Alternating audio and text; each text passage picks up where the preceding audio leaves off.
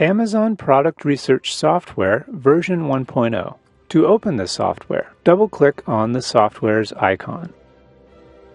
If you get a Windows alert, just continue. Add a product name or keyword on the search box, then click Search. Wait a few seconds.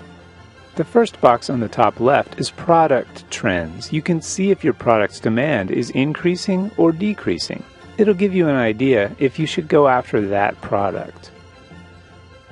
The second box on the top right is the top 20 Amazon results, your top competitors.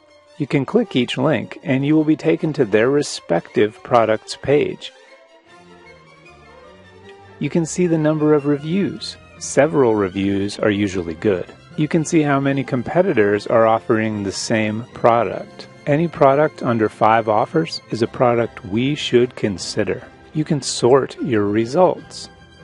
The third box on the bottom left is related products that you can research further. If you click on any of those keywords or products, you will be able to see what products are being offered. You can target those products if you want to.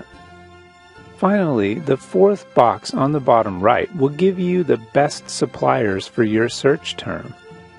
You can export some of your results by clicking on the Export button. Amazon Product Research Software version 1.0 will save you time and money. Start using it now to conquer Amazon, destroy your competitors, develop your own brand, and build a real business. Start now.